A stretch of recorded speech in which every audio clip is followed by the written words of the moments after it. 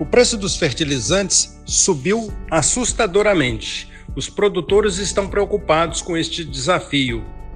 O professor Matiello, do Departamento de Solos da Universidade Federal de Viçosa, apresenta neste vídeo algumas dicas que o produtor pode levar em consideração diante deste cenário.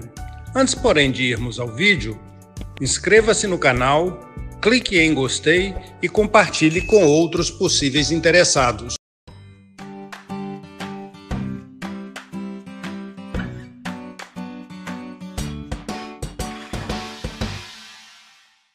Olá, meu nome é Edson Matiello, sou professor na UFV, no Departamento de Solos, trabalho com nutrição de plantas e fertilizantes. E é sobre fertilizantes que nós vamos conversar um pouco hoje. É, especialmente nesses momentos né, em que nós temos uma elevação acentuada dos preços dos fertilizantes, esse tema é, ele volta né, é, com uma bastante, bastante discussão é, no que nós podemos fazer nessas, nessa situação de preços muito elevados dos fertilizantes. Né? É, nós podemos analisar isso de duas, dois modos, né? É, olhando pelo lado da fertilidade do solo e olhando ah, pelas fontes ah, alternativas de nutrientes que nós podemos ter. Né? Quando nós falamos da fertilidade do solo, né, o produtor que vem é, fazendo as suas adubações rotineiras ao longo dos anos, é, provavelmente tem construído uma fertilidade nesses solos, é, de tal modo que hoje né, os teores é, dos nutrientes no solo devem ser mais elevados é, e, portanto, né, quando nós fazemos uma análise de solo, nós verificamos que os teores estão nos níveis bons, nos níveis ótimos e algumas vezes até altos. Né? Então, nesse caso, é, em que houveram adubações recorrentes no passado, foi construída uma fertilidade no solo, ah, e o produtor pode, é, verificando isso, reduzir dose do fertilizante a ser aplicado, economizando, portanto, com adubação. Né? É, vale ressaltar que, se caso o solo não tenha uma fertilidade construída, ah, não tenha teores satisfatórios, os teores sejam baixos ou médios, não seria conveniente reduzir a dose do fertilizante, porque isso vai implicar em redução de produtividade e isso não vai ser interessante para o produtor. Né? Então nós temos essas duas situações. Bom, esse é um primeiro ponto. Né? É, vale a pena né, reforçar também aqui que isso deve ser feito com critério. Então, a análise do solo, uma amostragem bem feita para constatar se os teores estão bons, estão altos, possibilitando redução de dose, é primordial. Né? Então, é preciso constatar isso por um técnico, por um profissional, que de fato isso possa ser feito. Tá? É, então esse é, uma, é, uma, é um lado, né, um, é uma forma da gente é, avaliar essa situação é, e pensar em reduzir doses naqueles solos que já têm boa fertilidade. Né? Na verdade, o produtor que fez as adubações fez um investimento ao longo dos anos e hoje ele tem uma poupança de nutrientes no solo e ele pode sim usar essa poupança no momento em que os preços dos fertilizantes estão muito elevados. Tá?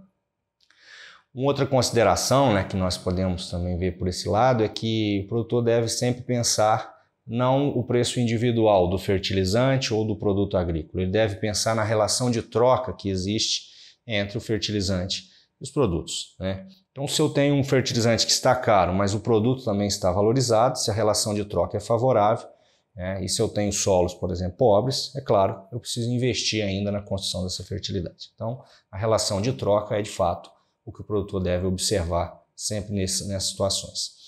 O outro lado da história, né, um outro modo da gente avaliar isso é pelas fontes alternativas. Então, quais seriam as opções de fontes que o produtor tem próximo de sua propriedade, com preços interessantes, né, é, de tal modo ele usar essas fontes como ah, um complemento à adubação.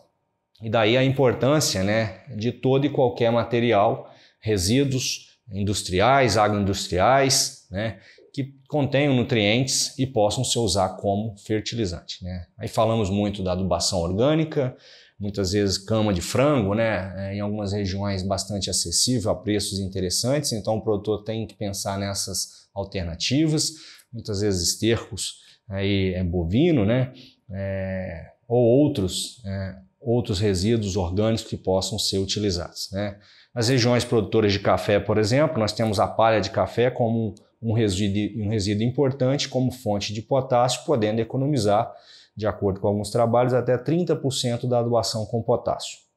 Né? Então, esse é um lado, ah, ah, nós precisamos né, utilizar todo e qualquer resíduo que tenha nutrientes, que possa fornecer nutrientes para as plantas. Claro que devemos ter o cuidado de saber se esses resíduos não têm algum outro contaminante, algum elemento potencialmente tóxico, isso é um risco. Mas o uso de resíduos ah, e fontes alternativas de nutrientes também é uma forma de baratear a nossa adubação, complementar essa nossa adubação e reduzir o custo com os fertilizantes. No caso da opção pela redução de doses, isso deve ser feito como, como critério, como, como eu coloquei, ah, e é, difere em relação aos nutrientes, porque o acúmulo, né, a reserva no solo ao longo do tempo não é a mesma. É, nós sabemos que alguns nutrientes, por exemplo, fósforo, podem sim se acumular nos nossos solos, é, gerando essa reserva disponível ao longo do tempo. Né? Podem mais facilmente se acumular no solo. Né?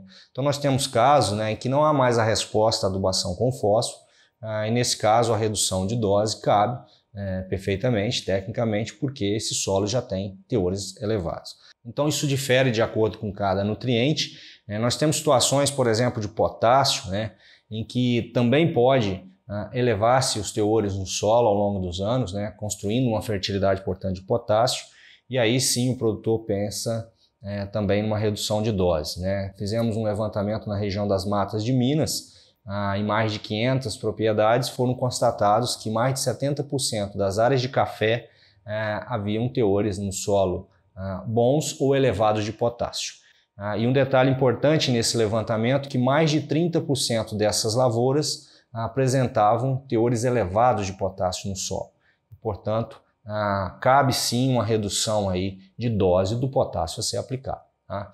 A redução aí na ordem de 70% em alguns casos, 50%, é, com o critério aí da análise de solo respaldado pela análise de solo. No, no caso do nitrogênio, a gente já não tem esse acúmulo tão ah, é, mais facilmente percebido ao longo do tempo, a não ser que haja um incremento efetivo de matéria orgânica do solo. Né?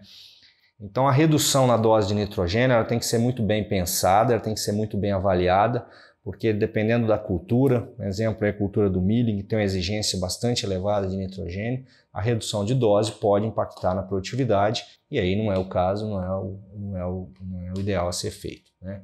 Então, a depender do nutriente também nós temos ah, reduções diferentes na dose, se for o caso, se for constatada essa possibilidade. Né?